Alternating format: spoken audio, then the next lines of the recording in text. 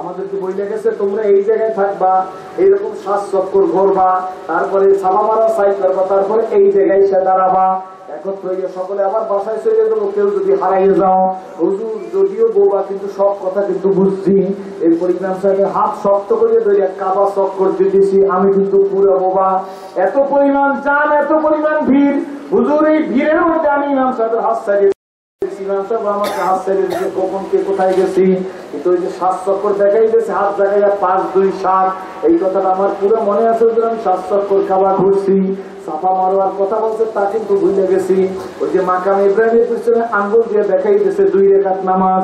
তাও আমি দুই রেখাত নামাজ পড়ছি, নামাজ পড়ে কাবা ঘরের দিকে তাকাই দিয়েছি আমি তো সাফা মারোয়া চিনি না। সাফা মারোয়াজের নাম বলছে, তাও তো আমি কানেও শুনি নাই, ভাবেও বুঝি না। কারও কাছে জিজ্ঞাসা করতে পারি নাই, কাবার দিকে তাকাই আছি। কিছু সময় কাবার দিকে তাকাই থাকতে থাকতে আমার ভিতরে একটা জজবা হয়তো হয়ে গেছে, হুজুর। সেখান থেকে আমি কাবার দিকে দৌড় দিছি। হুজুর, মানুষের মধ্যে থেকে দৌড় দিয়ে দিই কাবা ঘরে গিলাম খপ করে ধরছি। হুজুর, কাবার গিলাম শক্ত করিয়া ধরি, আমি বোমা মানুষ। আমি কাবার গিলাম ধরিয়া কাবিয়ার বলি, ও কাবার মালিক, আমার কথা তো কেউ বলবেন আমি যেভাবে কথা বলতে পারি, সেইভাবে ভাষা দিয়ে বলছি। আমার মুখ আমি নাড়াইতে পারি না, কথা বলতে পারি না। ওই মানুষগুলোর মুখ নাড়াই নাড়াই কি যেন বলতেছে? ওদের মুখ খোলা, আমার মুখ কেন বন্ধ? যেই মালিক তুমি ওদের মুখ খোলা রাখছো, সেই মালিক আমার মুখও দাও। আমার ভাষা দিয়ে যত যা কিছু বলতে পারছি, তা কিছু বলছি। বলার পরে গিলাপের লাগাই আর মালিকের কাছে বলতেছি, মালিক, এই গিলাপ না, যতক্ষণ পর্যন্ত তুমি আমার খুলিয়া না দেবা। যাব কার কাছে? জোরে বলো। কাছে জোরে বলো, এই বেকার যুবকেরা চাকরি হয় না, ব্যবসা হয় না। কত বৈধ ভাবে চাকরি হয় না, কত ভালো লেখাপড়া করে বেকার, কিন্তু চাকরি হইতেছে না নেতার পিছনে ঘুরতেছো, কোনো কাজ হবে না, কার কাছে গড়বা জোরে বলো? কার কাছে চাইব জোরে বলো জোরে বলো, কার কাছে?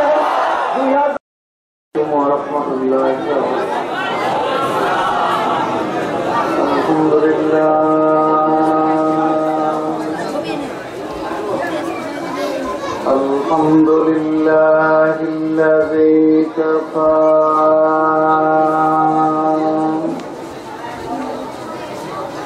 وسلام على عباده اصطفى.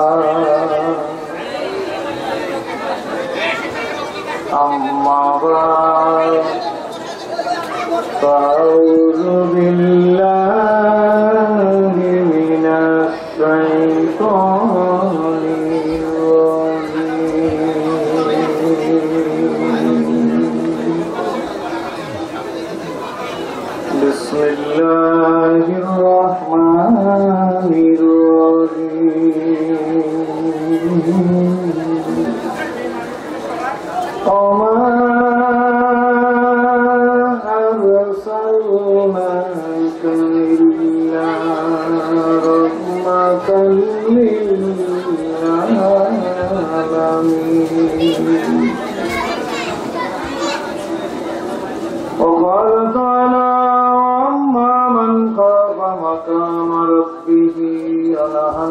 عن الهوى فإن الجنة هي المأوى وقال تعالى إن الله وملائكته يصلون على النبي. يا أيها الذين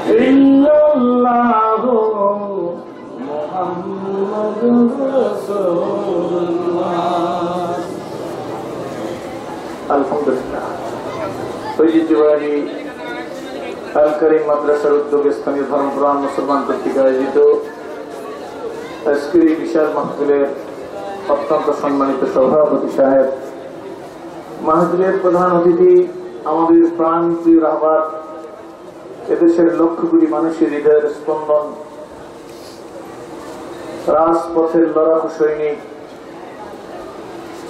পীর সাহেব হুজুর আল্লাহ তাকে দীর্ঘজীবী করুক, সকলে বলি আল্লাহ।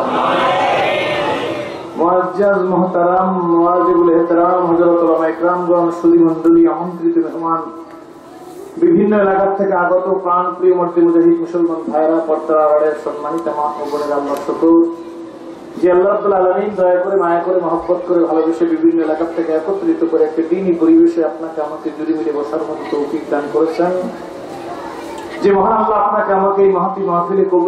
করলেন বলার মতো পরিবেশ সৃষ্টি করে দিলেন।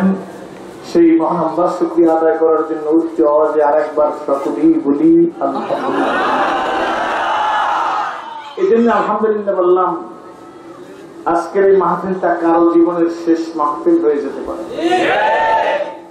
যেই সময়টা আপনারা মাহফিলে বসা, এই সময় বহু মানুষ গান, বাজনা ইয়াবা গাজা, নাচ, বিভিন্ন খারাপের মধ্যে বসা থাকতে পারে, আছেও। আল্লাহ সেখান থেকে আপনাকে আমাকে দয়া করে আল্লাহর এক অলির উদ্দেশ্যে হুজুরের মহব্বতের টানে আমাদেরকে এখানে আসার মতো তৌফিক দান করেছেন। যদিও হজরত হুজুরের অমূল্য বয়ান করে হুজুর চলে গেছেন, এর পরেও তো মাহফিল চলতেছে, আপনারা ধৈর্য সহকারে বসা আছেন। এ দ্বারা প্রতীয়মান হয়, মনে হয় আল্লাহ মাহফিল তাকে কবুল মাহফিলটা আল্লাহ দরবারে কবুল হয়ে গেছে। আমি আপনাদের কাছে কিছু কথা জিজ্ঞেস করব, আপনারা উত্তর দিবেন। বুঝে শুনে উত্তর দিবেন এরপর আমি মূল আলোচনার দিকে যাব। আমি জিজ্ঞেস করি বর্তমান সময় আমরা বেশি শান্তিতে আছি না অশান্তিতে আছি? অশান্তির কোনো কারণ আছে না নাই? এই সবাই স্বীকার করেন? এই কারণ কি কোন দলের দোষ না আমার নৈতিক চরিত্রের দোষ? ঠিক না ঠিক? আমার মানুষের চরিত্র আগের চাইতে ভালো হয়েছে না খারাপ হয়েছে মানুষ কথায় কথায় বলে, লোকটা অশিক্ষিত তো, এই জন্য এইভাবে কথা বলতেছে আপনাদের সাথে। এদের সাথে কথা বলি না, এলাকার শিক্ষিত লোক না। অশিক্ষিত এরিয়া, বলে কি বলে না অনেক জায়গায়? এবং কিছু লোকের থিওরি বা সূত্র হইল, অশিক্ষিত মানুষ হওয়ার কারণে সমাজে অশান্তি। কি আছে? এই কথা বলে কি বলে না? আমি জিজ্ঞেস করি, সমাজে অশান্তি সৃষ্টি করে শিক্ষিত লোকেরা না অশিক্ষিত লোকেরা? আর জায়গায় বলেন। এটা বুঝে বলাইছেন তো? শিক্ষিত লোকদের দ্বারা অশান্তি সৃষ্টি বেশি হয় না অশান অশিক্ষিত লোক দ্বারা বেশি অশান্তি আচ্ছা। তাহলে বোঝা গেল অশিক্ষিত লোকদের দ্বারা অত অশান্তি সৃষ্টি হয় না। যে পরিমাণ অশান্তি সৃষ্টি করতেছে শিক্ষিত লোকেরা। চুরি করে কারা? রাষ্ট্রীয় সম্পদ।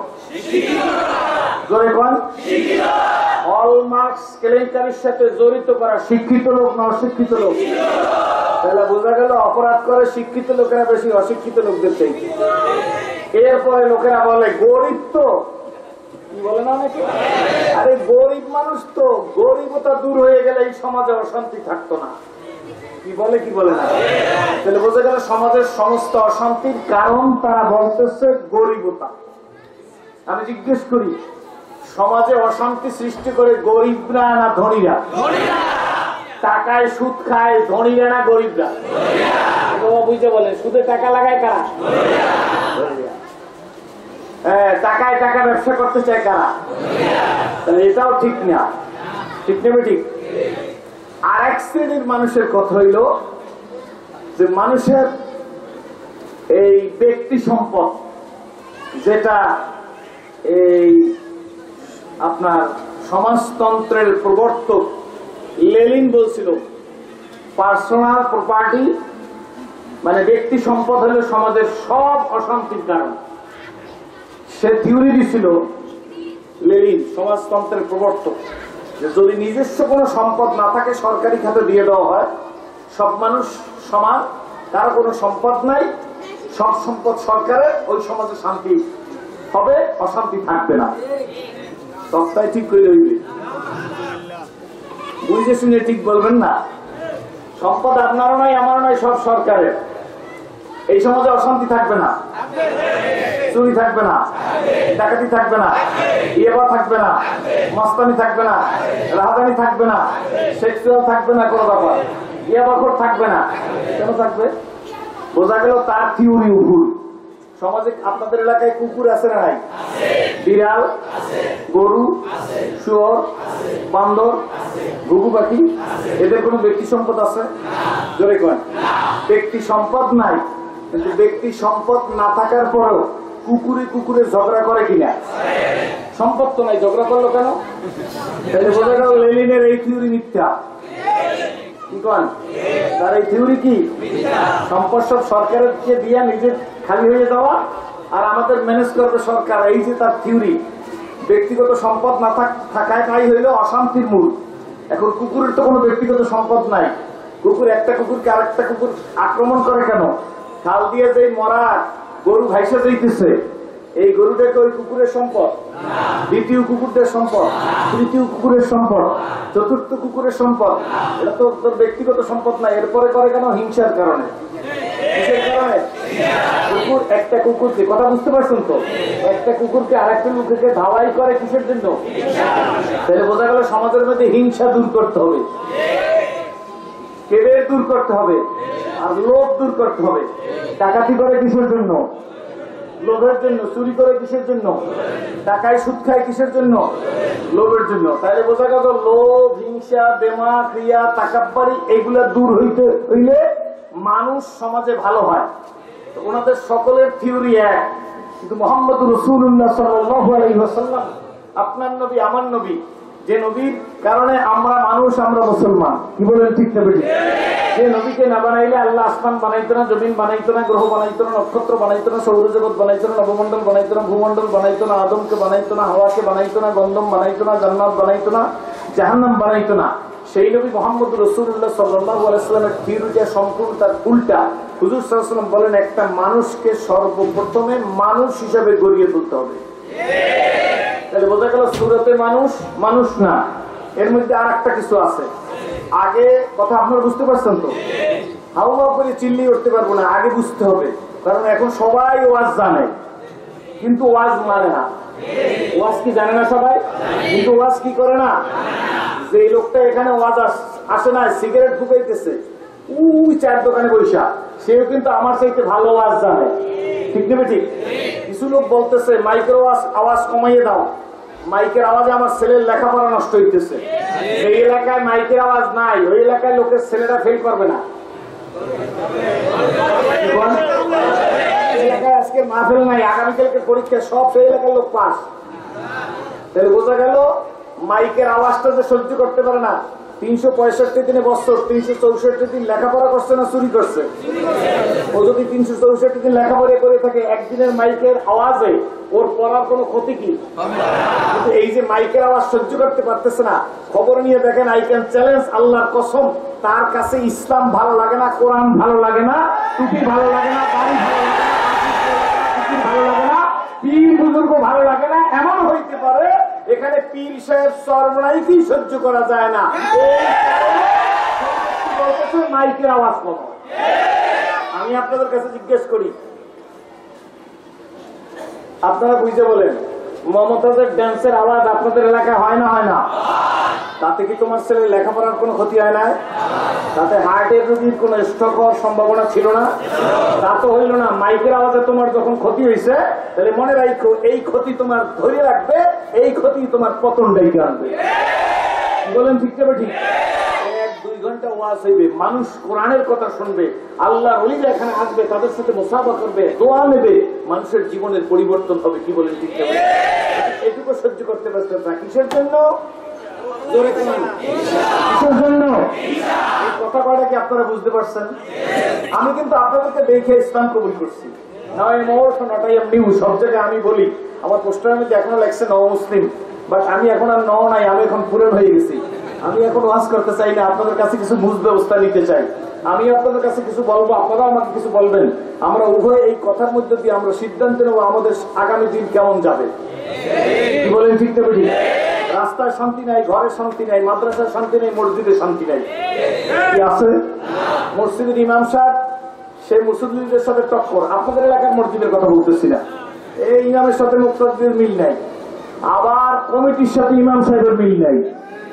আসলে নাই জোরে খান অনেক আগের কথা। আমাদের বরিশাল বিভাগের মধ্যে পটুয়াখালী একটা জেলা আছে। এখানে অনেক পটুয়াখালী লোক আছেন। পটুয়াখালী জেলার দশমিনা থানার বহরমপুর একটা গ্রাম। এই গ্রামে আমি ওয়াজ করতে গেছি। ওয়াজ করতে গিয়ে গরমের দিন মাদ্রাসার বারান্দায় শোয়া এমন সময় কিছু লোক চতুর্দিকে আমার গুড় গুড় করে। বলছি, কিছু বলবেন নাকি? কয়েকটি হুজুর। বলে আসেন বলেন। তো বল হুজুর আমাদের এলাকার এই মসজিদের ইমাম সাহেবকে আমরা পাল্টাবো বলবে আপনারা ইমাম সাহেবকে পাল্টাবেন তাতে আমার কি, আপনাদের ইমাম আপনারা পাল্টাই নেবেন? এটা তো আমার কোনো ব্যাপার না। আমি একদিন দুই ঘণ্টা ওয়াশ করতে আসলে ওয়াজ করে চলে যাব।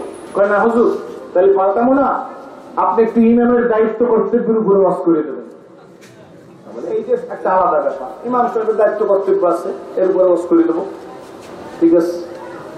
কথা শেষ হয়ে গেছে, কারণ ইমাম ডেভেলপমেন্টের জন্য না। এই সেই অনেক কিছু বলল। যখন গেছি, তখন রাত্র নয়টার কাছাকাছি ইমাম সাহেব আমার কাছে বসা। এ ভাই আসতে। ওদিকে যান, কিছু ইশারা করেন না। লোক বসা, এখানে কি ইশারা করেন? আমার দিকে তাকান। অসুবিধা হইতেছে আপনার ইমাম সাহেব আমাকে জিজ্ঞেস করে, হুজুর, কয়টায় মোনাজাত দেবেন? এটা মাহফিলের অবস্থার উপরে নির্ভর করবে। কয়টায় মোনাজাত দিয়ে একদম পারফেক্ট টাইম বলা যায় না। অবস্থার উপরে নির্ভর করবে। শ্রোতাদের অবস্থা, আমার নিজের অবস্থা। আপনি কিছু বলবেন নাকি? বলে আগে আমার একটু কাজ আছে। আমি আগে তো আমি কারোর সুযোগ দেবো না। আমি ওয়াজ করব আমি করব।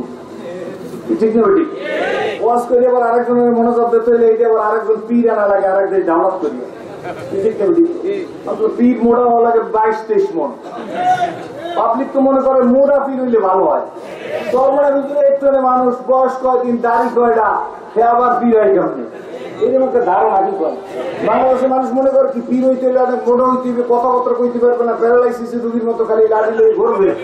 আর প্রত্যেকের আর শত্রু আসলেও দোয়া করবে, বন্ধু আসলেও দোয়া করবে। ইসলামের পক্ষে থাকলেও দোয়া করবে, ইসলামের বিপক্ষে থাকলেও দোয়া করবে। যে পীর না শয়তান। আরও জোরে কয় ইসলাম ব্যক্তিগত জীবনে, পারিবারিক জীবনে, সামাজিক জীবনে, রাজনৈতিক জীবনে, অর্থনৈতিক জীবনে, সেরাতে সুরাতে, কথাবার্তায়, লেনদেনে, আমলে একলাখে লেবাতে পোশাকে, ঘরে বাইরে, স্কুলে, কলেজে, মাদ্রাসা, ইউনিভার্সিটিতে। প্রত্যেক টাকায় ইসলাম থাকলে সমাজে শান্তি থাকবে, যেখানে ইসলাম থাকবে না, সেখানে রাস্তায় চিনলে মরবা, শান্তির মুখ জীবনে চলে যাবে ঠিক ঠিক যাই হোক, ইমাম সাহেব বলে, হুজুর মনে আগে একটু কাজ আছে। মনে আছে তো? কি কাজ? হুজুর আমার চোদ্দ মাসের বেতন বাকি। আমার কিন্তু কালেকশন করে দেবে আর এই যে আসরের নামাজের পরে কমিটির লোকেরা ইমাম পাল্টায়, ওই ইমামেরই তো চোদ্দ মাসের বেতন বাকি। ইমাম সাহেবের চোদ্দ মাসের বেতন বাকি থাকলে যে তিন রেখাত নামাজের দুই রেখাতে সালাম দিলেন দরকার? বেতনই তো চোদ্দ মাসের বাকি, তার তো মাথায় ঠিক থাকার কথা না। এরা ইমাম পাল্টায় আর ইমাম পাল্টার চোদ্দ মাস বেতন বাকি। তাইলে বলতে গেলে ইমামের মধ্যেও শান্তি নেই, মোক্তাদের মধ্যেও শান্তি নেই। জোর এখন আসে না নাই? দেখছেন শান্তি কি? ড্রাইভারের ড্রাইভিং লাইসেন্স নাই কন্ট্রাক্টরের কাগজ নাই, তারপরে কি নাই? বিএ টিএ ফিটনেস নাই ইন্স্যুরেন্স নাই। একজনের গায়ের উপর গাড়ি উঠে দিতেছে। কি ঠিক? একটুখানি বলে দাঁড়াইয়া চেক গাড়ির ড্রাইভিং লাইসেন্স দাও। হ্যাঁ ড্রাইভিং লাইসেন্স বানানো করতে পারে না। কিন্তু হ্যাঁ সামনে ড্রাইভার ঠকাই রয়েছে যে ছেলে আমার কাছে যাইতেছে, বোঝা গেল যে দুর্নীতি, দোষ, ত্রুটি আমাদের মধ্যে আছে। বিদায় ওই একটুখানি ছেলের কাছে নিজে হার মাইনে গেছে সব মুক্ত এই সমস্ত অবসান হইবে, সমাজে শান্তি আসবে সবাই নিয়ম মানা লাগবে। কিন্তু বর্তমান সমাজ হয়েছে কি, আমি যে আপনারে বলতেছি, আপনি ভালো হন, কিন্তু আমি নিজে ভালো হইতে চাই না। সব মানুষ বলে কি, তুমি ভালো হও, আমি যেমন আছি তেমনই থাকব। আমি গাঁজা খাই, খাও, খাই, খাব, তুমি খাইতে পারবা না। আমার চরিত্র খারাপ আছে, থাকবে। তোমার চরিত্র ভালো করতে হইবে। আমি যদি চরিত্র ভালো নয়, আপনাকে চরিত্র ভালো করার ওয়াজ করলে আপনার কোনো লাভ হইবে আপনার কি বিরক্ত হইতেছে না? মোটামুটি চতুর্দিক ঘুষ আনতেছি। সমাজের শান্তি নাই। শান্তির মালিক কে? আচ্ছা শান্তির মালিক দল। দল?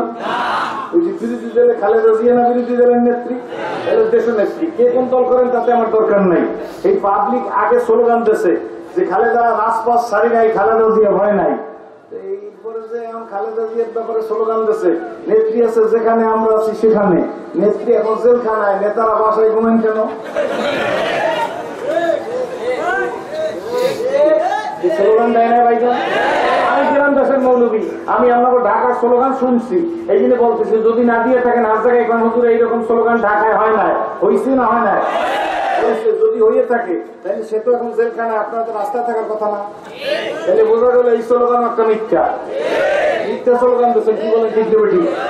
আমরাও বুঝে ফেলাইছি আমাদের যত অগা মনে অগা পর্যন্ত। ঢাকার কথা হইল মগা, আর আমাদের বরিশালে কয় অগা? কি ঠিক না? এই যত মগা আমাদের মনে করেন, আসলে টুপি এলারা মগা না। টুপি এলারা পাঁচ অক্ট নামাজ পড়ে। টুপি এলারা তিরিশটা রোজা রাখে। ঠিক না ঠিক সত্য কথা বলার চেষ্টা করে সুদ খায় না টুপি ঘুষ খায় না আপনারা মনে মনে করবেন হুজুর আপনার তো ঘুষের কোনো ফাংশনই নেই আপনার কাছে ঘুষ লেগে যাইবে কেটে এই জন্য খান না। এই কথাও ঠিক কি বলেন ঠিক তবু একটা শক্তি আছে যে টুপির কারণে আমাদের কাছে কেউ ঘুষ দিতে সাহস পায় না। সুদের কথা বলতে কি পায় না? বোঝা গেল এই ব্র্যান্ডেরও একটা মূল্য আছে। এই ব্র্যান্ড মূল্য আছে না নাই। এইবার আপনাদের কাছে জিজ্ঞেস করতেছি তাহলে শান্তির মালিক কে? আল্লাহ শান্তির মালিক, এই যে যারা স্বীকার করেন, তারা হাত জাগান হাতটা জায়গায় রাখেন, সোজা করেন। এই যে বুঝতে ফেলাইছেন? আলহামদুলিল্লাহ এবার মুখে বলেন, শান্তির মালিক কে? আল্লাহ শান্তির মালিক সবাই বলছেন। এই যে আমার সামনে টুপি নাই, দাড়ি নাই, এরাও বলছে শান্তির মালিক। অগরে আপনারা আবার আন্ডারে আমরা কিন্তু বেশি টুপিওয়ালাদের কাছে আনতে চাই না, আমরা বিনা টুপিওয়ালাদের কাছে আনতে চাই না। সবাই তেলা মাথায় তেল দেয়। আমরা যার মাথায় তেল নাই, তার মাথায় তেল দিই। আল্লাহ নবীর কাছে আইসা ওই বিনা টুপিওয়ালারা টুপিওয়ালা হয়েছে কিনা? বলেন। একজন ন মুসলিম একজন ন মুসলিম সে ইসলাম কবুল করেছে। কার কাছে? বিশ্ব নবীর কাছে। আল্লাহ নবীর কাছে ইসলাম কবুল করার পরে সে হুজুর কাছে এসে বলতেছি রসুল্লাহ হাবিবাল্লাহ, আমি আমার জীবনের সব অপকর্ম ছাড়ার অঙ্গীকার করেছি। সব অপকর্ম ছাড়া কোনো অপকর্ম করব না। জেনা, বেবিচার, সবকিছু মিলাইয়া সবকিছু বলছে যে, আমি আর কিছু করব না, তবে একটা অপরাধ, সেইটা আমি ছাড়তে পারতেছি না, হুজুর। আমার জেনার অভ্যাস আমি জেনা করব। কি করবে?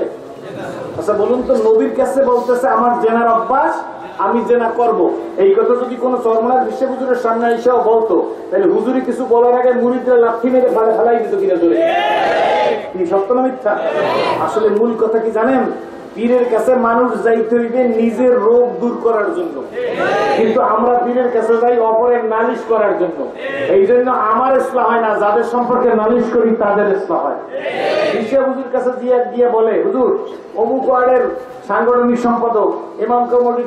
সভাপতি অমুক অমুক অমুক আপনার কাজ করে না, সংগঠনের কাজ করে না। হ্যাঁ সবাই নিয়ে নালিশ করে, কিন্তু নিজের কথা একবার বিশ্ব হুজুর কাছে বলে না যে, হুজুর, আমি ফজরের নামাজের জামাত ধরতে পারি না এখনও।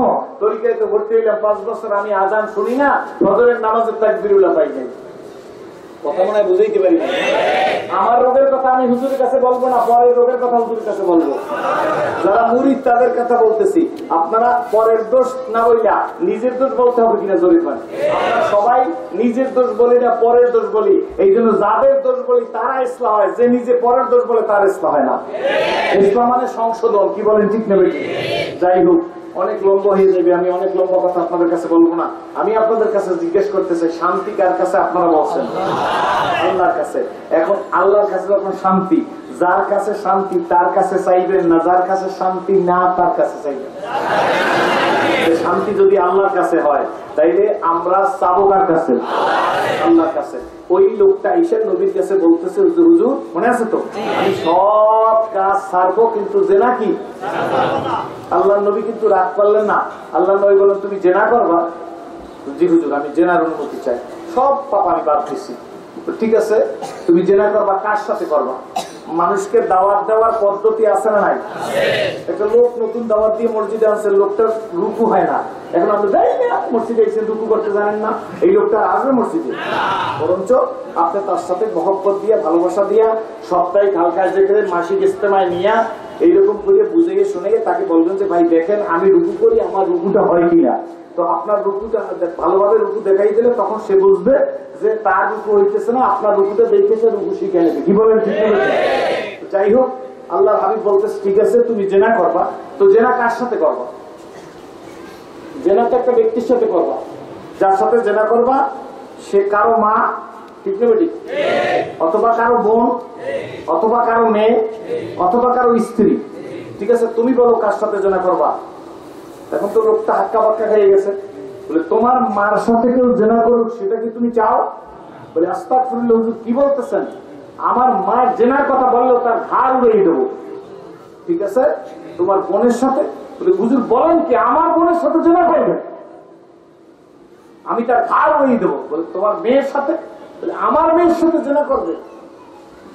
এত বড় স্পর্ধা যে মুখ দিয়ে বলবে, তার মুখ দুবার তরবারি মারবো সবাই কথা বলার পরে শেষ। বলো, এখন তুমি কার সাথে জেনা করবা? ওই নমুসলিম নিজের কান ধরে বলতেছি আর রসুল্লাহ আমার ভিতর থেকে জেনার সমস্ত টেন্ডেন্সি দূর হয়ে গেছে। আল্লাহে, আল্লাহর কসম, আমি আর কোনোদিন জেনা করবই না। লম্বা চূড়া চিকিৎসা দিচ্ছে না, সাথে সাথে চিকিৎসা দিচ্ছে জোরে বলেন। সাথে সাথে চিকিৎসা দিচ্ছে লোকটা ভালো হয়ে গেছে, কি বলেন? আজকে পীর, বুজুর্গ আল্লাহ রলিরা আমাদের কাছে আসে, তাদের কাছে গেলে, তাদের কাছে বসলে তাদের চেহারার দিকে তাকাইলে, তখন আমাদের ভিতরের রোগ দূর হয়ে যাবে নিজের জীবন। নূতন করে সজ্জিত করতে পারব। আপনারা জানেন, এই মসজিদের মধ্যে যারা বসা আছে, আলহামদুলিল্লাহ, এর মধ্যে অনেক স্কুল, কলেজ, ইউনিভার্সিটির ছাত্র আছে। আমি দাঁড়াইতে বলে দাঁড়াই যাইবে। আমি দাঁড়াইতে বলব না, যেই ছেলেরা আজকের পীর সাহেব চরমনার সংস্পর্শে আসার পরে তাদের জিন্দিগির দিকে তাকাইলে সেদিন প্যান্ট শার্ট পরা ছিল, পকেটে গাজার টুকরা ছিল পেন্সিলের বোতল ছিল, চাকু ছিল, হয়তো সে রাস্তায় হাইজ্যাক করতো।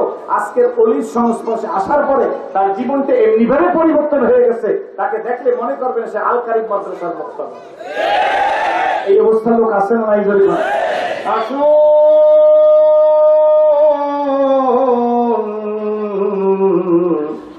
আমার মালিক দয়া করিয়া, মায়া করিয়া।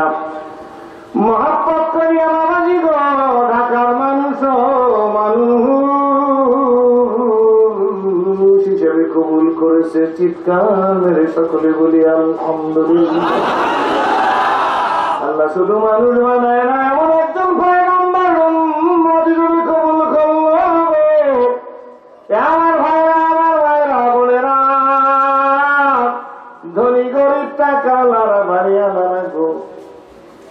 করিস না, মা। জীবনটা বরবাদ করে দিস না, আল্লাহ তোকে আমাকে মানুষ হিসেবে কবুল করেছে হিসেবে কবুল করেছে। চিৎকার করে সকলে বলি, আলহামদুলিল্লাহ। কবুল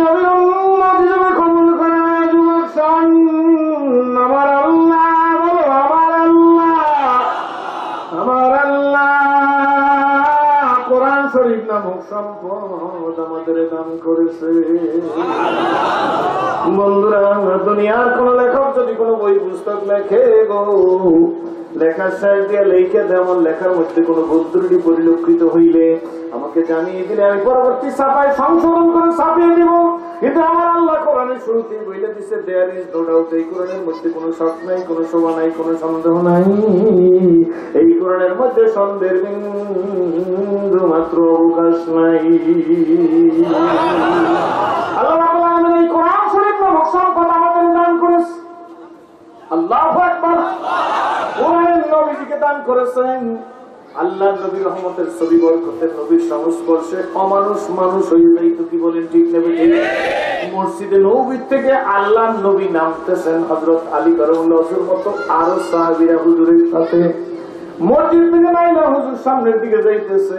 এমন সময় গ্রাম দেশ থেকে একটা লোক গ্রাম দেশ থেকে একটা লোক খুব জোরে হাইটে আসতেছে আল্লাহ নবী লোকটার হাঁটার অবস্থা দেখে মনে করতেছে, লোকটার মৃত্যু করে স্বামী নবী একটু আগাই গেলেন, লোকটা হুজুরের কাছে এসে দাঁড়াইলো। আল্লাহ নবী ডাক দেয়া বলে, তোমাকে মনে হইতেছে তোমার মধ্যে বড় পরেশানি? যে হুজুর আমার মধ্যে পরেশানি? আল্লাহ নবী ডাক দিয়ে বলে, কি পরেশানি তোমার মধ্যে? নবী গো, আমি যেই গ্রামের মানুষ, ওই গ্রামের মানুষগুলা সব ভুলের মধ্যে ছিল।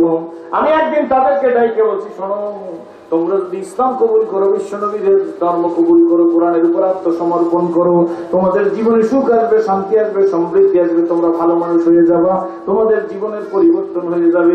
ইয়া ইয়া হাবিবাল্লাহ আমার গ্রামের লোকেরা আমাকে মানে আমার মাতুব্বর বইলে ডাকে, আমাকে সর্দার বইলে মালে মানে।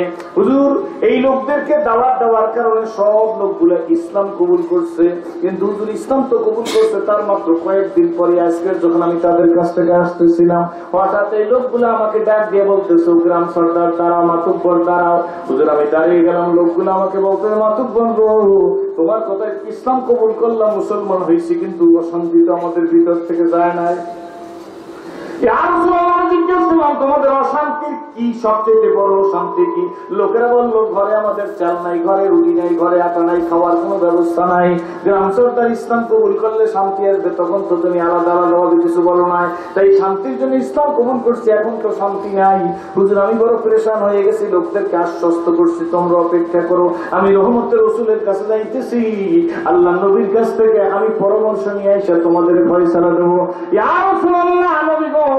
আমি তাদেরকে অপেক্ষা করতে বললে আপনার কাছে আসছি। হুজুর, এখন আমি গিয়ে তাদের কাছে কি বলব? তারা তো আমার কথা ইসলাম কবুল করছে। আল্লাহ নবী এই কথা শুনে হজরত আলীর দিকে বলল, হজুর, দিকে তাকাইছে আলী রে, বাইতুল মালিক কিছু আছে নাকি? হুজুর সময় মাল নামে একটা ফান্ড ছিল, কিন্তু এই ফান্ডে কখনো টাকা পয়সা কিছু না। হজরত আলী বলে একটা পয়সাও নাই। এমন সময় দুইজনে কথা বলতেছে। হঠাৎ একটা লোক উপযাজকের মতো হইয়া আইসা কাছে দাঁড়াইছে। এই গ্রামের লোকগুলাকে এখন নতুন বা মিষ্টি কোনো ওয়াজ করিয়ে দিলে তারা মানবে না? তাদের এখন ভাতের দরকার, খাওয়ার দরকার, সুতরাং তাদের খাওয়ার ব্যবস্থা করতে হবে। বাইকুল মালেও তো কিছু নাই। কিন্তু নবীজি আমার কাছে একটা ব্যবস্থা আছে, হুজুর। লোকটার দিকে তাকাই বলে, তুমি কে? তোমাকে তো চেনাই মনে হইতেছে। লোকটা বলে, হুজুর, আমার পরিচয় দিতেছি, কিন্তু আমার কাছে শোনেন, আমি আব্দুল ইবনে সানা। আমি ইহুদি সম্প্রদায়ের আলেম। কোন সম্প্রদায়? হুজুর, আমি আপনার কাছে আসছি। এদেরকে নগদ কিছু দান না করলে এরা শান্ত হবে না। তাই হুজুর, আমার কাছে কিছু স্বর্ণ মুদ্রা আছে। এই দিয়ে আমি বর্তমানে খেজুর খরিদ করব। এই খেজুর আমি সিজনে বিক্রি করে লাভবান হব। কিন্তু আমি এই সময়ের মধ্যে এই খেজুরের টাকাটা খেজুর না কিনে স্বর্ণ মুদ্রা আপনাকে দিয়ে দিতে চাই। শর্ত আমাকে সিজনে খেজুর দিয়ে দিবেন যখন আমি খেজুর বিক্রি করব। আল্লাহ নবী বলে, তা যদি তুমি দাও, তাহলে কোনো সমস্যা নাই, দিতে পারো। লোকটার থেকে আল্লাহ হাবিবের হাতের মধ্যে বত্রিশ উকিয়া স্বর্ণ মুদ্রা দিলেন নবীদের হাতের মধ্যে। কত উকিয়া? বত্রিশ উকিয়া স্বর্ণ মুদ্রা দিলেন আল্লাহ হাবিব। ওই গ্রাম সর্দারের কাছে দিয়ে দিল, বন্টন করিয়ে দিল। সময় চলে যাইতেছে। তিন মাস পরে খেজুরের মৌসুমে খেজুর তখন বিক্রি করার মৌসুম আসবে। এই সময় তাকে আশি মন খেজুর দিতে হবে এই বত্রিশ উকিয়া স্বর্ণ মুদ্রার বিনিময়ে। এই শর্তে যখন বত্রিশ উকিয়া স্বর্ণ মুদ্রা দিল, ঠিক তিন মাস কাইটা না যাইতে তিন দিন মাত্র বাকি আছে। তিন মাস? শেষ হয়ে যায় না, মাত্র তিন দিন বাকি আছে। এমন অবস্থার মধ্যে এই আব্দুল্লাহ বিন সানা উনি এসে উপস্থিত হয়ে গেছে আল্লাহর হাবিবের কাছে। আল্লাহর হাবিব তখন তিরিশ জন সাহাবিদের নিয়ে একটা জায়গায় বসা, হুজুরের মুখখানা মলিক এক আনসার সাহাবির জানাজা শেষ করে হুজুরে আসছে। একজন মুসলমান ভাইয়ের এন্তেকালের কারণে হুজুর ব্যতীত সাহাবিরাও ব্যতীত তাদের মধ্যে কান্না, চোখের মধ্যে পানি। হঠাৎ করে লোক তাইসা আল্লাহ হাবিবের কাছে বলতেছে, খেজুর দেও না কেন? ব্যবহার খারাপ করছে না ভালো করছে খারাপ, খারাপের কোন সীমা আছে? কম খারাপ না বেশি খারাপ? আল্লাহ নবী অষ্টনিশ খেজুর দেওয়ার কয়দিন বাকি আছে এখনও? তিন মাস হইতে আরও কয়দিন বাকি? তিন দিন বাকি আছে। শুধু এই বললেই খান্ত না। লোকটা এসে আল্লাহ নবীর জামা ধরছে। হুজুরের জামা কলার ধরছে। জামা ধরে বলতেছে, খেজুর দাও না কেন আল্লাহ নবী স্বাভাবিক। এর কারণ হইল পীর বুজুর্গ অলি আল্লাহদের গালি দিলে তারা প্রতিবাদ করে না। সর্বনাগতের পিছনে অনেকেই সমালোচনা করে। কি বলেন ঠিক ঠিক কিন্তু হুজুরা শুনে শোনে না। কারণ এই হইল যারা নবীজিকে অনুসরণ অনুকরণ করে পতঙ্ক অনুসরণ করে তাদের মধ্যে নবীর সেবা পাইসা যায়। জোরে কোন আলহামদুলিল্লাহ। বিশ্বনবী সরকারে তো যখন জানাবে মোহাম্মদ রসুল্লাহ সাল্লামের এই জামা দরিয়ে কথা বলতেছে ইহুদি বাচ্চায় এরপর আল্লাহ নবী স্বাভাবিক। কারণ সাধারণ মানুষ যে এই জিনিস বরদাস্ত করতে পারে না আল্লাহ হাবিবের এই যোগ্যতা দিছে যিনি নবী হবেন তিনি অনায়াসে সেইগুলো সহ্য করে নিতে পারবেন। খুশি না বাজার? জোরে বলেন। এই কথা হুজুরকে জামা ধরে বলতেছে। শুধু তাই না, হুজুরকে বলতেছে, দিতেছ না কেন? এই কথা বলার পরে আবার বলতেছে, দিবে কেমনে? তোমার দাদা হইতে কেউ, কারও যদি কেউ নিয়ে থাকো কিছু, তাহলে সেইটা যথাসময় তুমি পরিশোধ করে তোমরা দেওয়া তোমার দাদা আব্দুল মোত্তালেও অভ্যাস ছিল। এই কথা নবী স্বাভাবিক। নবী কি? স্বাভাবিক। কিন্তু রসুল হজরত তাআলা ওই মসজিদের মধ্যে বসা। বোঝেন? এই যে সেই আছে লাল কালি দিয়ে আশেক লেখা আছে না? সেই আছে বন্ধনা আসল আশেক কি সেই আছে আমি কারণ নাম বলতেছি না কিন্তু। ঠিক না, ওয়ালেও আশেক লেখা আছে। কি সত্য না মিথ্যা? হ্যাঁ। হজরত ওমর তাআলা দাঁড়াই বলতেছে কার সাথে কথা বলতেছ? মুখ সামনে কথা বলো। যে মুখ দিয়ে কথা বলতেছ, সেই মুখের জিব্বাটা আমি ওমর কেটে দেবো। আল্লাহু তাহলে বোঝা গেল, অন্যায়ের প্রতিবাদ করতে পারে সঠিক আশেকের রসুলরা। এই বাংলাদেশে তসলিমের মধ্যে সর্বপ্রথমে রাস্তায় যারা নামছে তারা বিশ্বের অনুসারী।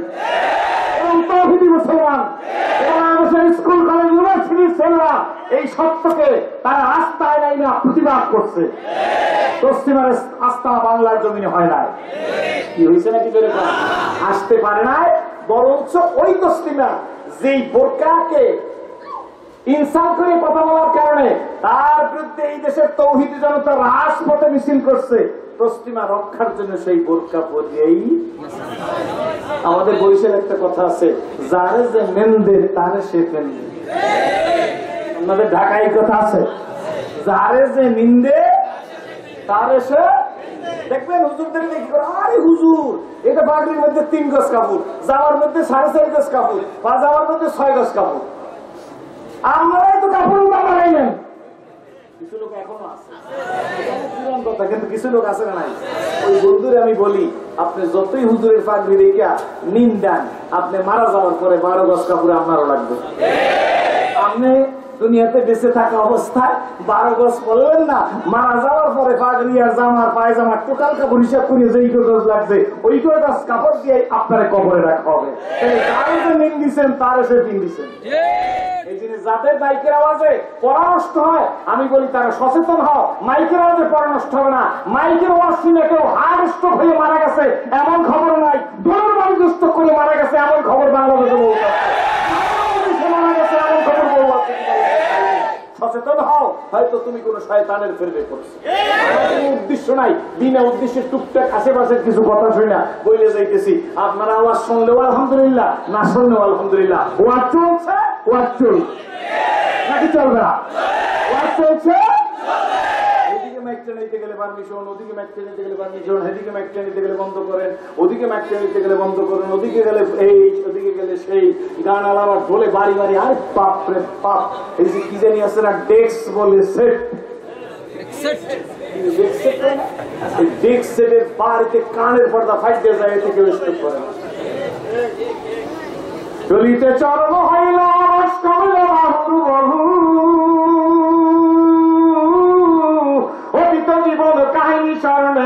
ঝরিছে জল। হইল নাই চরে মুখে। সকল সাহস কমিল আমার ভীতি ভরা শত মুখে। মানুষ মুহূর্তের সময় বলবে কে আসো কোথায়? হেরিয়ে হেতায় আজকের মমসের দিন। জীবন প্রতিদিনই ভুলিবু প্রায় হইয়া এসেছে কি? দেহে মনে কত না শক্তি, কত না সাহস ছিল গো কার ইঙ্গিতে সংসার সকলে শূন্যে মিলিয়া গেল। উঠি বসি হাতি করি, ছুটা ছুটি চলিয়াছে দিবানিসি সে দেহ আজি মাটির সঙ্গে যাইতে সে যেন মিশি হালাল তেজিয়া হারামে মত্ত জোরে হালাল তেজিয়া হারামে মত্ত জোরে। হালাল তেজিয়া হারামে মত্ত কেন রে হারাম গো জানিও, তোমাকে ডাকিছে কিন্তু কঠিন মাটির গো হায়াত তরুণ শাখায় বসিয়া হায়াত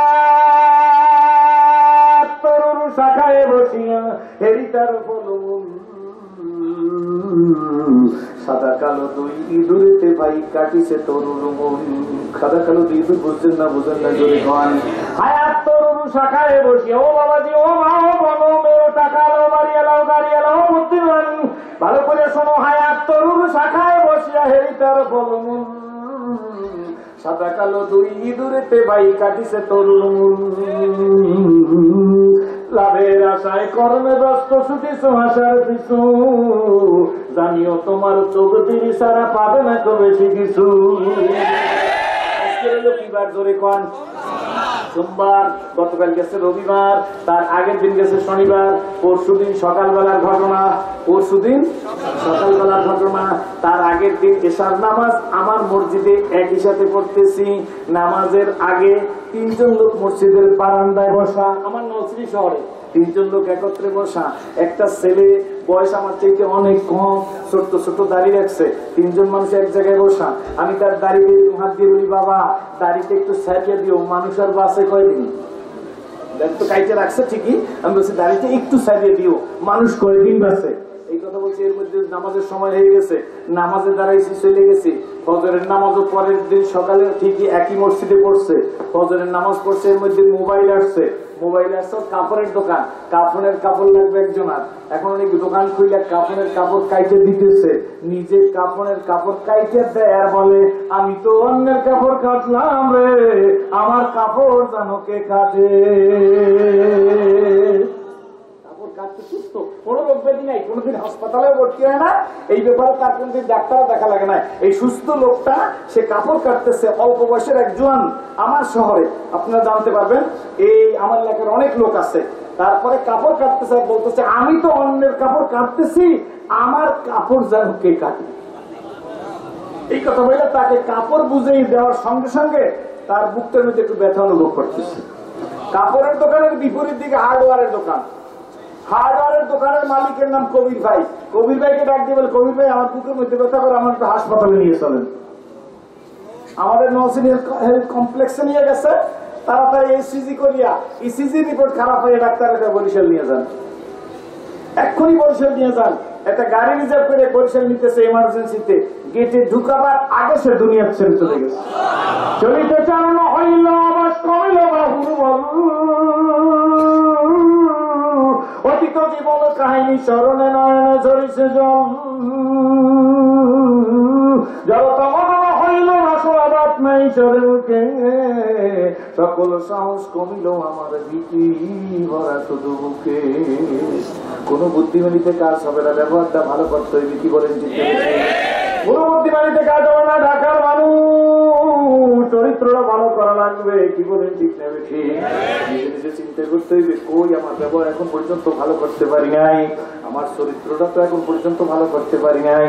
আমি দিনের আলোতে যেমন, রাত্রের কালোতেও তেমনই থাকব, কি বলেন, ঠিক না বেশি দিনের আলোতে যেমন মানুষ কোনো পাপ করে না, মানুষ দেখবে, বাবা সপ্তনামিকটা ধরে বলেন, আমি রাতের কালোতেও সেইভাবে কোনো পাপ করব না, যেহেতু আমার আল্লাহ আমাকে দেখতেছে। এইরকম যদি মোজাহেদা করতে পারি, আল্লাহ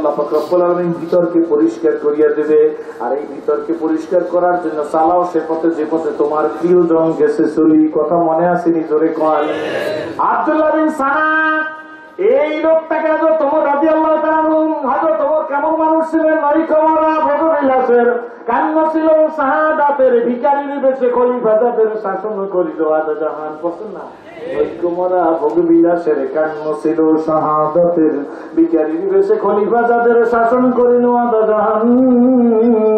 তার আগে ঘুমিয়ে দিব, তাই বাইরে বইছে জর তুফান। ঘুমিয়ে কাজা করবি ফজর যখন জাগিনি তখন জোহর। খেলায় খেলায় কাটিল আসর মাঝে বেতে শুনিয়া যান। এর সাথে জমাত হরে হাজির এখনও জমাতে আছে স্থান বাগিছে মামা ধরে বলেন বাগিছে মামা বাজারে মামা সেই রুসু করি মুসলমান। নয় জমানার দামাতে শেষে ভাঙা কিল্লা সামনাটি রোজ আসরে আল্লাহ আমাদের রোজ আসরে করহন বিচার আল্লাহ। লেখক কবি নজরুল ইসলাম কি বলেন ঠিক নেবে ঠিক। কবি নজরুল ইসলাম লেখছে রোজ হাসরে আল্লাহ আমায় রোজ হাসরে আল্লাহ আমায় রোজ হাসরে আল্লাহ আমায় করোনা বিচার আল্লাহ।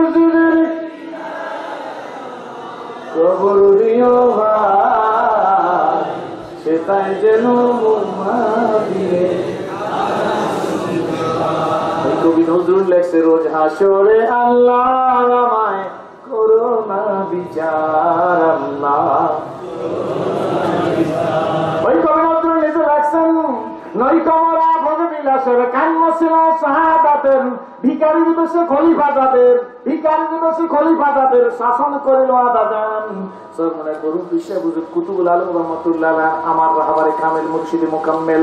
আল্লাহ ফজলুল করিম রহমতুল্লাহকে দেখছেন কেন? একটু হাত জাগান। উনি বাংলার একজন সোনার মানুষ ছিলেন হাত জাগাই রাখেন জরে খান। আরে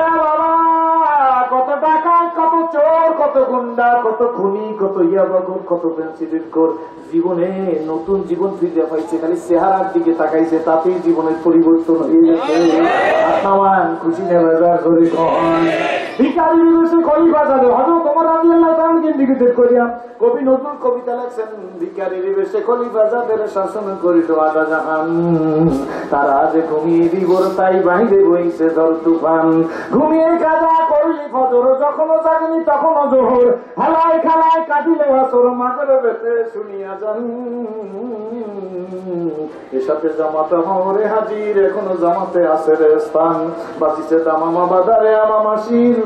মুসলমান। না জমানার দাওয়াত এসেছে ভাঙা কিল্লায় উড়ি নিশান, নারায়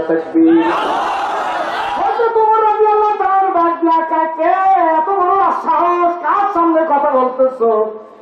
যেই মুখ দিয়ে মনে যেই মুখ দিয়ে কথা দেবো। আল্লাহ ডাক বলছেন না বিপক্ষে বলছেন আমাদের পক্ষে বললে খুশি হইতাম না, বেজার হইতাম।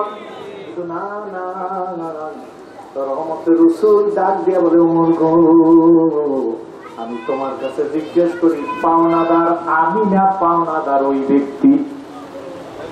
পাওনাদার কে? পাওনাদার ওই ব্যক্তি, সুতরাং পাওনাদার যার কাছে পাইবে, তাকে দুই এক কথা বলতেই পারে অমর গো, তোমার ভাষাটা ভালো হয় নাই, বরঞ্চ তোমার বলা উচিত ছিল। যদি ওই লোকটাকে বলতাম আমার দিকে তাকান যদি ওই লোকটাকে বলতাম, তাইলে এইভাবে বললে ভালো হইতো যে, ভাই তুমি পাওনাদার, সময় হইলে টিকি দিয়ে দেওয়া হইবে একটু সবর করো। অথবা যদি তুমি আমার কাছে এসে বলতাম তাহলে তুমি বলতা যে, নবী গো লোকটা যখন কিছু পাইবে, তাকে দিয়ে দেওয়াই ভালো। কিন্তু তুমি তার জিব্বা কাটতে চাইলে ব্যাপারটা কি? যাও তাড়াতাড়ি গোডাউনের কাছে যাও। দেওয়ার তো এখনও তিন দিন বাকি আছে, কি বলেন, ঠিক না সময় কি তিন দিন বাকি আছে কিনা কিন্তু তিন দিন আগে তো আর সবার তার কোনো বিচার নাই। এরপরে আলাইহি সাল্লাম গোডাউনে যাও, তারে এই দুপুর বেলা মাইপা আশি মন খেজুর দিয়ে দাও। আশি মন খেজুর সেই যুগে ডিজিটাল ফলা প্রয়োজন ছিল না। আশি মন খেজুর হাতে মাপা বিরাট কঠিন ব্যাপার, কি বলেন, ঠিক এই আশি মন খেজুর মাইপা তুমি তাকে দিয়ে দিবা। দাঁড়াও অমর। হজরত আল্লাহ প্রস্তুত। আবার ডাক দিয়ে বলতে সমর আশি মন তো দেবাই, আশি মাইক দেওয়ার পরে আরও এই ব্যক্তিকে পাঁচ মন খেজুর বেশি দিয়ে দিবা।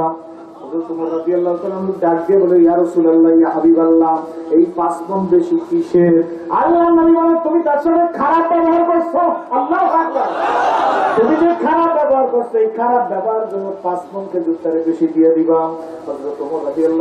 লোকটাকে নিয়ে গেছে গোডাউনের কাছে। আশি মণ খেজুর তারে বুঝতে দিয়ে দেওয়ার পরে হযরত রাদিয়াল্লাহু তাআলা পালা পরিয়ানটা নিয়ে গোডাউনের মধ্যে ঢুকতেছে। সময় আব্দুল্লাহ বিন সানা ডাক দিয়ে বলতেছে, ওমর, দাঁড়াও, কই যাইতেছো? খেজুর তো আশি মন দেওয়া হয়ে গেছে বলে জি। এরপর যাও কই? বলে, দাঁড়াও, তোমার আরও পাঁচ মন খেজুর আছে। আব্দুল্লাহ বিন সানা ডাক দিয়েছে এই পাঁচ মন কিসের? আমার তো আশি মন খেজুর পাও না। হয়তো তোমার তাআলা ডাক দিয়ে তুমি সময় আল্লাহ আমাকে আলাদা নিয়ে বলে দিয়েছে। ওমর খারাপ ব্যবহার করার কারণে তুমি তারে পাঁচ মন খেজুর আরও বেশি দিয়ে দিও। এই জন্য তোমাকে আরও পাঁচ মন খেজুর বেশি দিবার চাই। আব্দুল্লাহ বিন সানা ডাক দিয়ে কোমর তুমি আমার শ্রেণি করে না, চিনি না। তবে তোমার আমি চিনি, তোমার মুখ খারাপ, তোমার ব্যবহার খারাপ, তোমার ভাষা খারাপ, তুমি আমার নবীরে কষ্ট দিছো, আমার অন্তরে কষ্ট দিছো। একটা কথা মনে রাখবেন, ঢাকার বাইরে আছে নবীর দুশ্মন, কোরআনের দুশ্মন, আল্লাহর দুশ্মন, ইসলামের দুশ্মন, সে ব্যক্তি আপনারও দুশ্মন, আমারও দুশ্মন।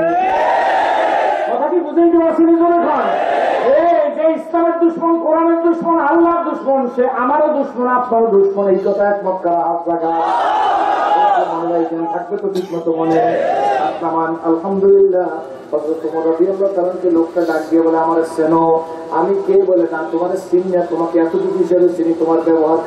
মুখ খারাপ। তুমি আমার কষ্ট দেছো এমন সময় সানি তোমার আমার নাম কি তুমি জানো বলে? না, আমি তোমার নাম জানি না। ডাক দিয়ে বলে, আমার নাম হলো আব্দুল্লাহ বিন সানা। সেই বলছে, আমার নাম আব্দুল্লাহ বিন সানা। সঙ্গে সঙ্গে তোমার রাজি আল্লাহ চক্ষু বড় হয়ে গেছে।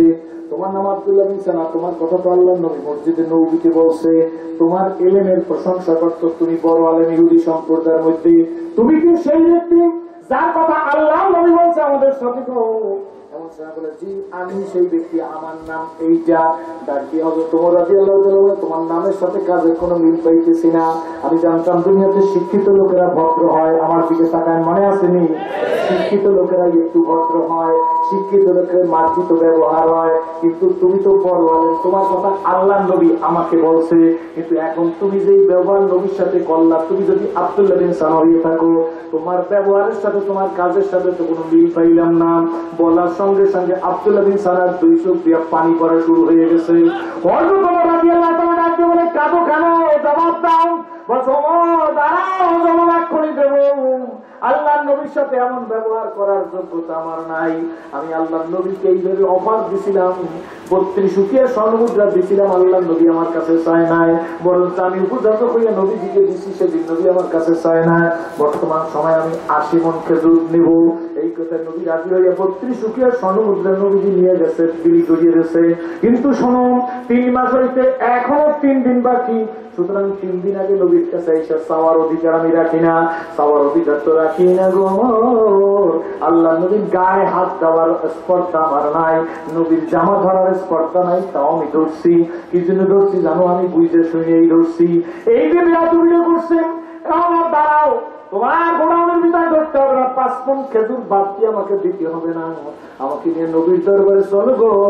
আমি নবীকে শুধু পরীক্ষা করার জন্য নবীর গায়ে এইভাবে করিয়া তিন দিন আগে আমি পরিকল্পিত ভাবে গিয়ে নবীজির জামাদর্শি দেখছি উনি সত্য নবী কিনা। উনি যদি সত্য নবী না থাকে, আমাকে প্রতিশোধ নিবে না ক্ষমা করে দিবে। আর যদি উনি সত্য নবী না হয়ে থাকে, তাহলে আমার প্রতিশোধ মুখর হয়ে যাইবে। সুতরাং আমি আল্লাহ নবীকে পরীক্ষা করে দেখলাম, আমি ইহুদিদের বড় পণ্ডিত। আমার সমস্ত কেতাবের উপরে আমার এলেম আছে। সুতরাং আমি পরীক্ষা করিয়ে দেখলাম, তার মধ্যে কোনো ত্রুটি নেই। তিনি যে নবী, তাতে কোনো সন্দেহ নাই, চিৎকার মেরে সকলে বলেন এই যে আশি মন আশি মন আমি নিতে চাই না। এই আশি মন চল্লিশ মন খেজুর আমি জন্য করিয়ে দিলাম। চল্লিশ মন আমার আর পাঁচ মন আমার কোনো দরকার নাই। আমার তোমার কাছে কি দাঁড়াল কোনো চাকু আছে নি বলে কেন কোনো দাও কাটারি আসেনি বলে কেন আগে জানতে চাই? তারা তাড়াতাড়ি নিয়ে আসো বলে ব্যাপার কি আমাকে নবীর কাছে নিয়ে যাও। আমি নবীর কাছে আমাকে কলেমা পরে ইসলামের সুশীত তাহলে আশ্রয় গ্রহণ করে দাও। এবার ডাকতি অত তোমার রাতে আল্লাহ তোর বলে, তাহলে তুমি দাও বা কাশি বা ছুরি দিয়ে কি করবা? এই সময় আব্দুল আবিন সাহেব আমার যেই হাত দিয়ে আল্লাহ নবীর জামা মুবারক করছে, ওই হাত কাইয়া নিজের শরীর থেকে নিশ্চিন্ন করে ফেলে দিতে চাই। ওই হাত দিয়ে নবীর দরবারে আমি যাইতে চাই না। আগে আমার হাতটা কাইটা দাও, তারপরে আমাকে নবীর কাছে নিয়ে যাও। তখন তোমর রাতি আল্লাহ তোমার দুই চোখের পানি ছেড়ে দিয়ে তাকে করা জড়াইয়ে ধরিয়া আল্লাহ নবীর কাছে নিয়ে আল্লাহ নবী তাকে দেখেই বুঝিয়ে বলাইছে, আব্দুল্লাহ বিন সানাস, ইহুদি সম্প্রদায়ের মধ্যে বড় আলেম। আমার ভাইরে, আমার বন্ধুরা, আমার বাবাজিরা। এ পর্দার মা বোনেরা ভালো করে শোনো এই জন্য ব্যবহার কি বলেন, ঠিক যে আল্লাহ নবীর কাছে আব্দুল মিসান ইংরেজের বড় আলম ইসলাম কবুল করছে। জীবনের মোর পরিবর্তন হয়ে গেছে। আমরা আল্লাহ ফতাবুল আলমিনের কাছে আসুন। দুইটা কথার উপর মজবুত হইয়া যুবক। এই স্কুল, কলেজ, ইউনিভার্সিটির ছাত্র ভাইরা দুইটা কথার উপরে পূর্ণ মজবুত ওই কয়টা কথা ধরে বলেন। আমি লম্বা আলোচনা আপনাদের সামনে করব না। এক নম্বরে আল্লাহর কাছে ওয়াদা দিতে হবে। আল্লাহ যতদিন এই দুনিয়ার মধ্যে তুমি রাখবা, কয়দিন আমার জানা নাই, আপনারও জানা নাই। যতদিন এই দুনিয়ার মধ্যে থাকব, আল্লাহ ততদিন তোমার হুকুম মানবো। কারা আছে দুই হাত আমাদের তোমার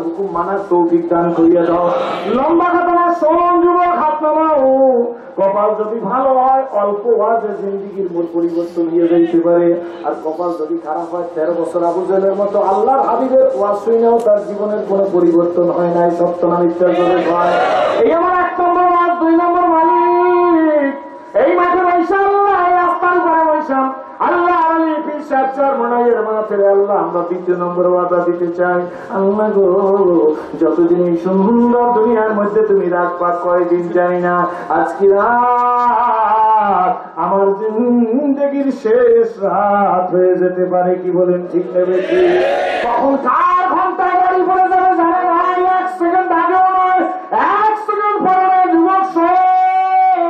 যদি কপাল ভালো হয়, একটা লোকের দুই ঘোড়া চোখের পানি চোখ দিয়ে দরদর করিয়ে পড়তেছে, ওই লোকটা কাঁদতেছে, তুমি হাসতেছো, তার চোখের পানি কেন পড়ে? তুমি হয়তো জানো না, তার দুই ঘোড়া চোখের পানির বদৌলতে তোমার আমার জিন্দিগির পরিবর্তন আইসে যাইতে পারে কি বলেন ঠিক না? বললাম নেভিগেট খুলনা জেলার নেভিগেট খুলনার মানুষ অনেক আছেন। ওয়াজ করতে গেছি, বসে আছি, নাস্তা করতেছি। একটা লোক থেকে পাঁচটা হাত দূরে বসা লোকটা ওইখান থেকে বলছে আমার দিকে আসতেছে, আর ডাক দিয়ে বলে, হুজুর, আমাকে চিনেন? না বলছি, না, আমি তো সব এলাকায় লোকের চিনি না। আমি তো ওয়াজ করতে আসছি, দুই ঘণ্টা দেড় ঘণ্টা ওয়াজ করে চলে যাব, সব মানুষ চিনি না আপনি কে? আরও কাছে আসছে, আমার হাতের মধ্যে হাত দিয়েছে, সালাম দিয়া। আমিও তাকে দেখে দাঁড়াইছি গোলাগুলি করছি, ডাক দিয়ে বলতেছে, হুজুর, আমি এমন একটা মানুষ শুধু আপনার জীবনের সাথে আমার মিল আছে। আপনার জীবনের সাথে আপনি কি না কি আমি না। কিন্তু আপনার জীবনের যে অলৌকিকতায় পরিবর্তন হয়েছে, আমার জীবনেরও সেই অলৌকিকতায় পরিবর্তন হয়েছে। আমি বলছি, আপনার জীবনের কি অলৌকিকতা বলার সঙ্গে সঙ্গে লোকটার দুই চোখ দিয়ে দরদর করিয়া পানি পড়া শুরু হয়ে গেছে। বলছি কাঁদেন কেন? আপনার জীবনের কথা বলবেন আপনি কাঁদতেছেন কেন? লোকটা কাঁদতেছে, চোখের পানি বসতেছে আর ডাক দিয়ে বলে, হুজুর, এখন যে আমি আপনার সাথে কথা বলতেছি, আমার মুখটা খোলা। একদিন এই মুখটা বন্ধ ছিল, আমি জন্ম বাবা মায়ের পেট থেকে বউ হয়ে দুনিয়াতে আসছি। হুজুর, আমি বড় হয়েছি, বয়স্ক হওয়ার পরে গরিবের ঘরের সন্তান। রিক্সা চালাইতাম, ভ্যান চালাইতাম, এরপরে ভ্যান নাই, রিক্সাও নাই। তারপরে বাজার থেকে কষা কাঁচা কলা এইরকম তরকারি কিনে বাকিতে কিনতাম তারপরে বিক্রি করে মূল মালিকের টাকা পরিশোধ করে দিতাম। এরপরে হুজুর আস্তে আস্তে করে বিয়ে শাদী করছে এই বোম অবস্থায়। সন্তান হয়েছে, হুজুর এই তরকারি বেচা, রিক্সা চালান না ঠেলা গাড়ি টাকা দিয়া। এই টাকা দিয়ে আমি হুজুর সন্তানদের লেখাপড়া করছি, করাইছি। আমি তো কিছু জানি না, একদিকে কথা বলতে পারি না অপর দিকে কানে শুনি না। কিন্তু ছেলেরা যে বেশি লেখাপড়া করছে, তা বুঝতে পারছি, শিক্ষিত হয়েছে, আমি সংক্ষেপে বলতেছি। ওই লোকটা বলতেছে হুজুর, এরপরে বিভিন্ন প্রচেষ্টা করিয়ে ছেলেরা কেমন কেমন করিয়ে যাই ওরা আল্লাহর ফজল করমে বিদেশে গেছে, হুজুর ইটালিতে গেছে। ইটালিতে যাই হুজুর টাকা পয়সা পাঠাইতেছে। আমাদের এলাকার ইমাম সাহেবের কাছে বলছে যে, আমাদের বাড়িঘর করিয়ে দেবেন। বাড়িঘর টাকা দিয়ে করিয়ে দিয়েছেন। এরপরে হুজুর আস্থা করিয়া আমার হজের টাকা পর্যন্ত পাঠাই দিয়েছে। অল্প কয়েক মিনিটের মধ্যে শেষ করে দিতেছি। বৃষ্টি শুরু হয়ে গেছে কারও উঠতে হবে না। ইনশাল্লাহ আল্লাহর কাছে দোয়া করেন, আল্লাহ কবুল করুক, সকলে বলেন আমি বেশি ওয়াজের মধ্যে হেদায়ত না হেদায়ত আল্লাহর কাছে, কার কাছে জোরে বলেন? কার কাছে? লোকটা বলতেছে, হুজুর, এরপরে আমাকে মসজিদের ইমাম সাহেব বিভিন্ন পদ্ধতি করিয়া, আমি বোবা মানুষ আমাকে নিয়ে মক্কা শরীফ চলে গেছে। হুজুর, মক্কা শরীফে যাওয়ার পরে এশারা ইঙ্গিতে আমরা যারা হুজুরের সাথে হজে গেছি আমাদেরকে বইলে গেছে, তোমরা এই জায়গায় থাকবা, এইরকম শ্বাস চক্কর ঘুরবা, তারপরে সাবা মারা সাই করবা, তারপরে এই জায়গায় সে দাঁড়াবা। সকলে আবার কেউ যদি যাও। যদিও বোবা কিন্তু সব কথা কিন্তু বুঝছি হাত শক্ত করে ধরে কাবা চক্কর দিতেছি। আমি কিন্তু পুরো বোবা এত পরিমাণ চান এত পরিমাণ ভিড় হুজুর, এই ভিড়ের মধ্যে আমি ইমাম সাহেবের হাত সারিয়ে দিচ্ছি ইমাম সাহেব আমাকে হাত সারিয়ে দিচ্ছে কখন কে কোথায় গেছি? কিন্তু ওই যে সাত চক্কর দেখাই দিয়েছে, হাত যায় পাঁচ, দুই, সাত। এই কথাটা আমার পুরো মনে আছে, হুজুর, আমি সাত চক্কর খাবার ঘুরছি সাফা মারোয়ার কথা বলছে, তা কিন্তু ভুলে গেছি। ওই যে মাকাম ইব্রাহিমের পিছনে আঙ্গুল দিয়ে দেখাই দিয়েছে দুই রেখাত নামাজ। তাও আমি দুই রেখাত নামাজ পড়ছি, নামাজ পড়ে কাবা ঘরের দিকে তাকাইছি, আমি তো সাফা মারোয়ার চিনি না। সাফা মারোয়াজের নাম বলছে, তাও তো আমি কানেও শুনি নাই, ভাবেও বুঝি না। কারও কাছে জিজ্ঞাসা করতে পারি নাই, কাবার দিকে তাকাই আছি। কিছু সময় কাবার দিকে তাকাই থাকতে থাকতে আমার ভিতরে একটা জজবা হয়তো হয়ে গেছে, হুজুর। সেখান থেকে আমি কাবার দিকে দৌড় দিছি। হুজুর, মানুষের মধ্যে থেকে দৌড় দিয়ে দিই কাবা ঘরের গিলাপ খপ করে ধরছি। হুজুর, কাবার গিলাপ শক্ত করিয়ে ধরি আমি বোমা মানুষ। আমি কাবার গিলাপ ধরিয়া কা দিয়ার বলি, ও কাবার মালিক, আমার কথা তো হুজুর কেউ বোঝেন আমি যেভাবে কথা বলতে পারি, সেইভাবে ভাষা দিয়ে বলছি। আমার মুখ আমি নাড়াইতে পারি না, কথা বলতে পারি না। ওই মানুষগুলোর মুখ নাড়াই নাড়াই কি যেন বলতেছে? ওদের মুখ খোলা, আমার মুখ কেন বন্ধ? যেই মালিক তুমি ওদের মুখ খোলা রাখছো, সেই মালিক আমার মুখও খুলে দাও। আমার ভাষা দিয়ে যত যা কিছু বলতে পারছি, তা কিছু বলছি। বলার পরে খাবার গিলাপের বুক যতক্ষণ পর্যন্ত তুমি আমার জবান খুলিয়া না দেবা। কাছে? জোরে বলো। কাছে জোরে বলো এই বেকার যুবকেরা চাকরি হয় না, ব্যবসা হয় না। কত বৈধভাবে চাকরি হয় না, কত ভালো লেখাপড়া করে বেকার, কিন্তু চাকরি হইতেছে না। নেতার পিছনে ঘুরতেছো, কোনো কাজ হবে না। কার কাছে ঘরবা? জোরে বলো। কার কাছে চাইব? জোরে বলো। জোরে বলো, কার কাছে? দুই